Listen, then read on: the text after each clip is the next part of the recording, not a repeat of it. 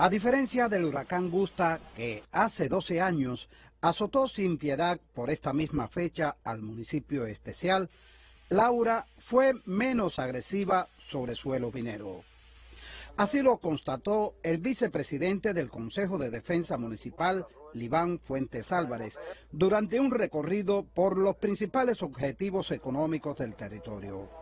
De acuerdo con las valoraciones preliminares, las mayores afectaciones hasta ahora están en las redes eléctricas. El 36% de las viviendas de la isla están afectadas en este momento. Cocodrilo se mantiene sostenido el servicio, solo cuatro viviendas afectadas en este momento.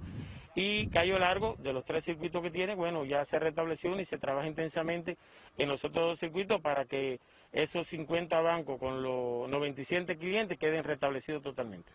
Otro de los sectores ligeramente afectado fue la agricultura. Nos encontramos en este momento en el plátano, el cual sí sufrió algún nivel de afectación. Ya la brigada de la CSS Capitán Lawton se encuentran recogiendo la producción. Aprovechando el buen tiempo, desde horas tempranas de la mañana, se acometen las tareas de la recuperación que tienen que ver sobre todo con la cosecha del plátano, la limpieza de la ciudad y la reparación de las redes eléctricas.